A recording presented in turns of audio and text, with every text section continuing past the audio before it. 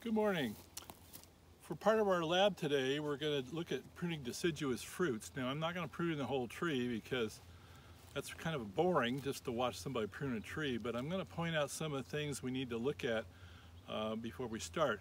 Now, if you look at a tree like this, this is a peach tree, uh, a lot of students just don't know where to start. This is, it looks overly complicated, but we got some basic principles here we're going to work on and learn.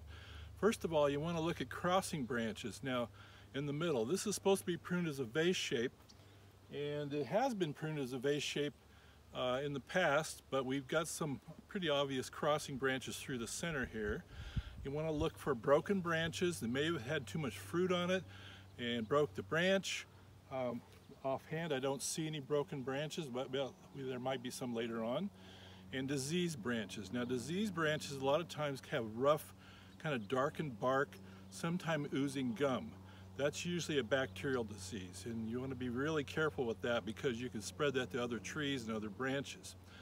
First of all, where we start, we, we look at our tools. Uh, I've got a saw here.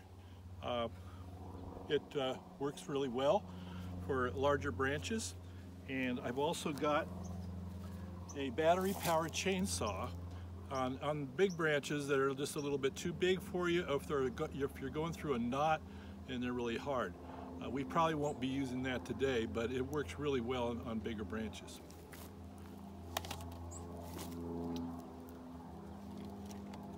Got a pair of loppers here.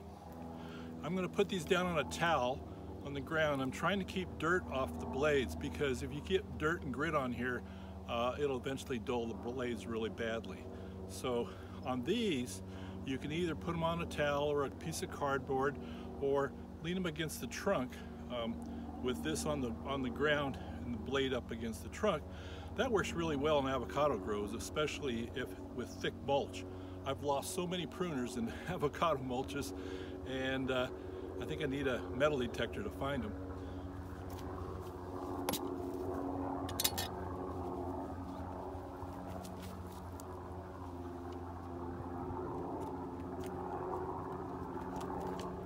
and you need a pair of hand pruners. I'm gonna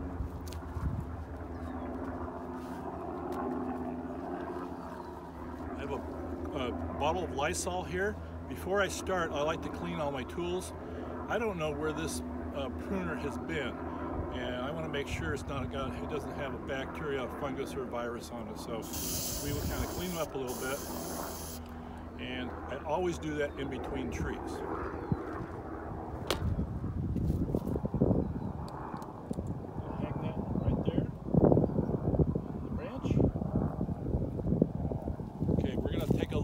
closer look at some things out here that uh, might be a problem. Okay, you can take a look inside the vase here. You can see that it has been pruned as a vase in the past. We've not, we have an obvious crossing branch right here that will be taken off, probably right there. And look for some more crossing branches. Okay, so uh, after we get the diseased branches, the broken branches, the crossing branches out, then we'll take a look at thinning and heading back. Uh, this is a good example of thinning here. We've got too many branches close to each other. You can see where I've got the pruner right here. We'll cut that out. Get that out of there.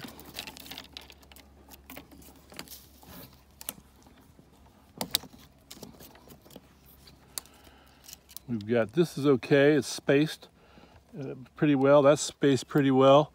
Um, I'm gonna take this one out.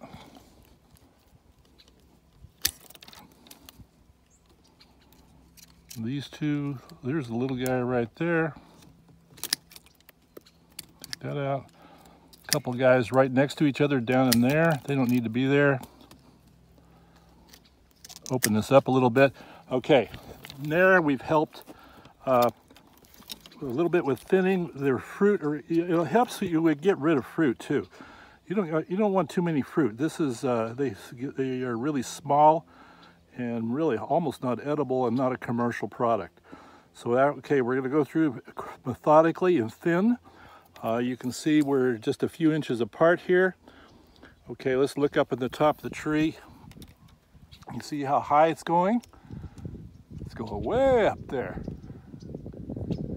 Okay, so we're gonna bring that back, back down a little bit. I can reach about this high. So I don't wanna have my fruit any higher than that. Uh, and we're gonna cut that off. And I, you can also, all of you, we have short people, tall people, you wanna make that tree convenient for you. And when you cut it back, you wanna cut right back to a bud. There's a bud right where my finger is here.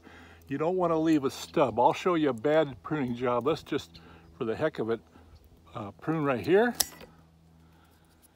Now that stub will get infected with a fungus and that's not a good, good deal. It heals up a lot better if you can prune back to a bud like that. Okay, so we will go through there. That's called heading and thinning. Okay, we're focusing on my hat here. This is on a larger branch and we are going to cut that with three cut pruning. Um, you got to be careful with these larger cuts on larger branches.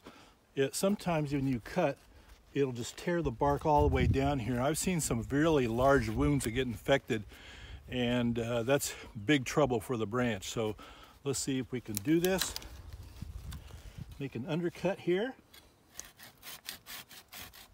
That's so it won't tear bark. Get the rest of the branch, that's your first cut.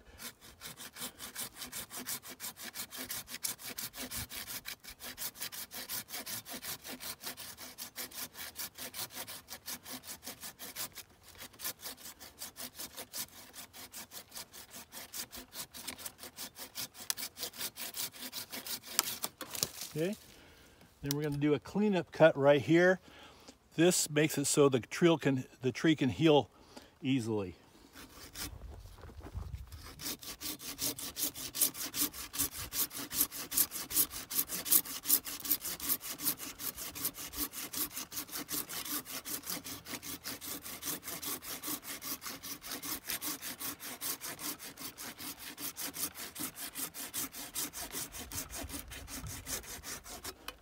Okay. And we got a nice clean cut that can heal. Um, takes a while to do this. Uh, it's, this works better with the little chainsaw I showed you earlier. Okay, so next we are going to go over some younger trees and show you some problems on those. Okay, well, as most of you should know by now, um, uh, there are two parts to these fruit trees. The top is the scion, and that is the parts, that's my hand on right now, that is the part selected by the breeder for good fruit. Uh, good size fruit, good tasting fruit, uh, that's the special part of the tree. The other special part of the tree is the rootstock. Down here it's grafted on. Rootstock has been bred for resistance to diseases, to nematodes, uh, sometimes salinity, uh, bad, uh, poor pH in the soil, or whatever. So uh, that's the part. And sometimes when trees get ne neglected, um, we get suckers thrown up. So when you get done pruning, this is the last part to take a look at or, or do. You gotta get these suckers out of here or they will just take over the tree. Uh, especially bad in citrus because we have a uh, usually like a trifoliate or Troyer type rootstock has three leaves and that'll grow up through the tree. You don't even notice it and that's happened to my tree. A lot of people have happened to a lot of trees, and, and uh, you got to get that out of there. So take a look down here at the rootstock.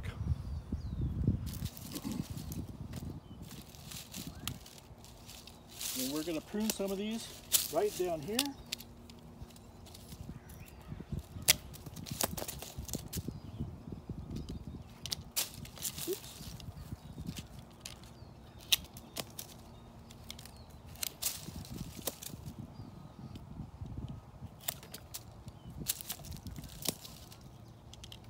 Try to get as close as you can.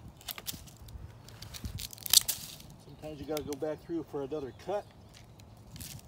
Okay, we'll continue that, finish that later. Okay, just a review. Uh, when you go up to a tree and you want to prune it, a deciduous fruit tree, um, look for crossing branches. broken branches, diseased branches, start with those, take them all out. Maybe branches laying on top of other branches, take one of those branches out. Uh, growing in a, in a poor direction, if the branch is headed toward the ground, you want them upright. A 45 degree angle is the best angle, but sometimes they just don't do that. So, you know, do the best you can. And then start thinning, you know, get some space between the, the shoots and then heading. That's topping the tree down to where you can pick the tree. So that'll conclude this video. I want to thank uh, Nick Ranch and Valley Center and MiraCosta College Orchard for letting me come in here and take these videos.